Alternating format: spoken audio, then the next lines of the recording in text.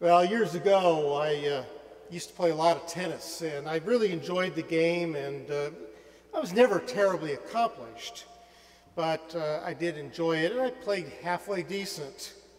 But I used to get really, really frustrated because when I played, I wanted to serve as well as Boris Becker. Now, that tells you how old I am, by the way.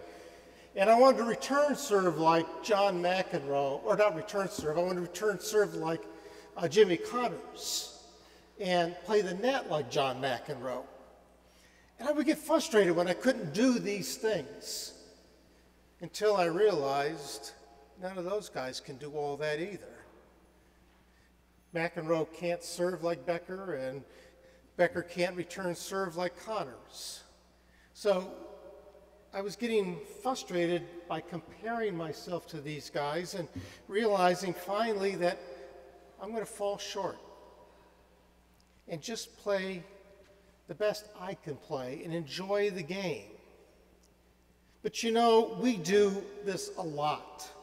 We compare ourselves to one another. We compare our jobs and our cars and our kids and grandkids and our houses and fashion is all built around comparing oneself to another, right?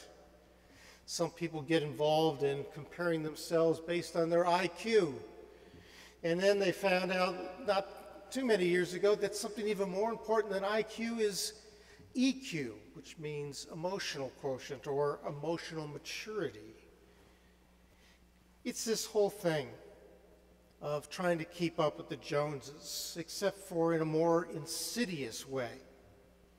And you know what? It always leaves us in a bad place because there's always going to be somebody who is better than us or somebody that's not as good, and so we end up with either a lower opinion of ourselves than we deserve or we think we're better than others.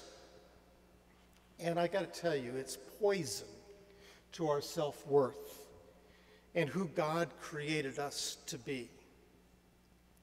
We see this whole dangerous game being played out in our gospel lesson.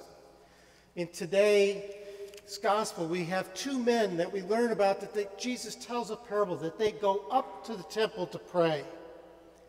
One is a Pharisee, and the other, we find out, is a tax collector. Remember this Pharisee's words? God, I thank you that I'm not like other people. I don't rob or scam or even cheat on my wife. I'm not even like that man over there. Unlike him, I fast and tithe, and I'm sure he doesn't. So, really, I thank you, God, that you've made me so faithful. Wow. This passage really convicts, doesn't it? If we're not found guilty in listening to this parable, then we're probably deluding ourselves. We pray this prayer probably too often with too much justification and relief. It all starts out as a benign statement, doesn't it? A brief observation of comparison, a glance that sizes another person up, an aspect of an individual singled out as especially distasteful. Oh, she's fat, or he's poor, or they're so old. These are all examples of our human brokenness, our sin. Of course, the sin is not obesity or poverty or aging, it is our value judgments of others' perceived shortcomings that convict us. And rarely do we leave it there. We begin to judge, and often we begin to assign moral failures on their part as reasons to justify our negative judgments. We, want, we think if, well, she would just diet or he would just get a better job. This too leads us down a dangerous path as we begin to judge people without understanding them, that we judge them without any empathy and rarely do we even try to see another as Jesus sees them. And so, like the Pharisee, we stand apart and aloof. Jesus, on the other hand, draws near to the very people that we look down upon. This story calls out this sin of ours, this sin of dismissal, the sin of one upmanship. It calls to attention that time and that space in between the all too quick valuation and the final verdict of whether or not we deem someone as a person who deserves our attention or our love. You know, our society excels in deciding another's fate, and especially their value based on superficial things. It is true. Our society also validates our judgments, and it's true that the rich, the young, or is it true, I should ask actually, is it true that the young, the rich, the beautiful are more valued than their counterparts? Luke sees it very differently. Throughout his gospel, Luke points out that God's reversal, where the sick, the poor, and the suffering and the outcast are not thrown out further, but welcomed. Our Pharisaic friend in this passage either forgot or never knew this truth. He's far too certain of his value to God and that his future is secure because of his own righteousness. And since he's so righteous, this tax collector must not be worth much to him or to God. His sense of justification gets caught up in his own self righteousness rather than trust in God's love.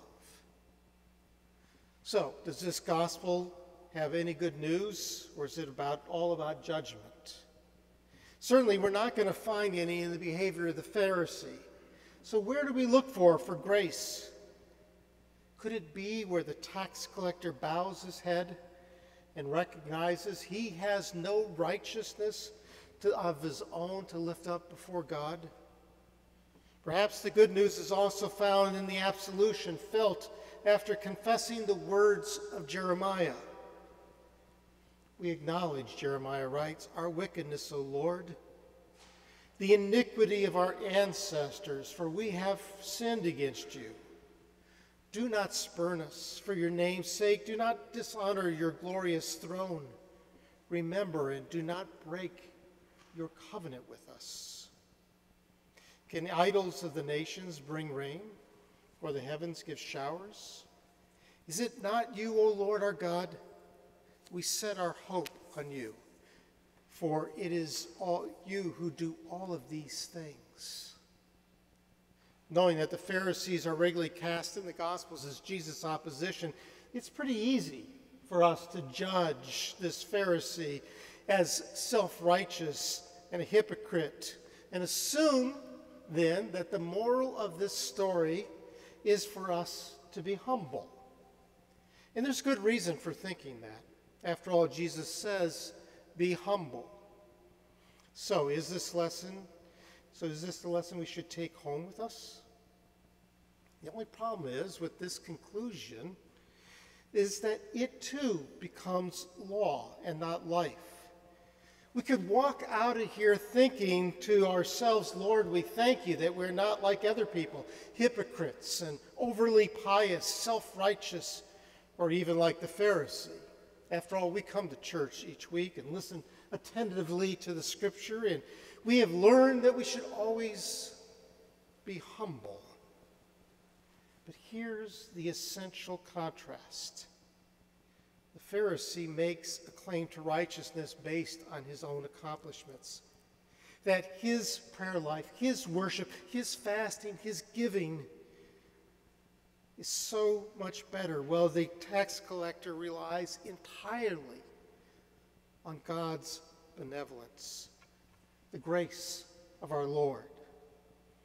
Rather than be grateful for his blessings, the Pharisee appears smug to the point of despising others. In his mind, there are two kinds of people the righteous and the immoral.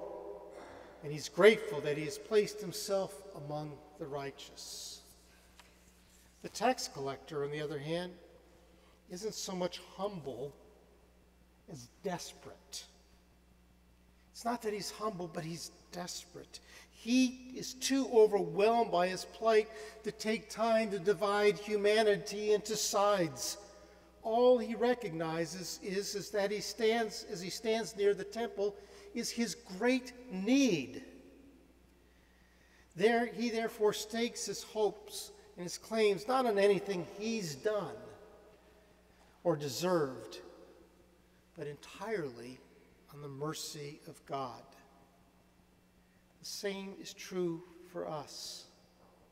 Each time we try to rely on our gifts and talents, each time we think it's enough to justify ourselves before God, we find ourselves yet again with nothing to claim but our dependence on God's mercy. The fact of the matter is, we too are justified by the grace of Jesus, and we are invited to return to our homes in mercy, grace, and gratitude. No hoops to jump through, just trust in God. As we sing in one of our favorite hymns, My Hope is Built on Nothing Less, the refrain reminds us on Christ, the solid rock, I stand. It's Christ, that solid rock in which we stand all other ground is indeed sinking sand. Self righteousness, even humility, is nothing more than sinking stand, sand. Only the mercy and the love of God is solid rock. Amen.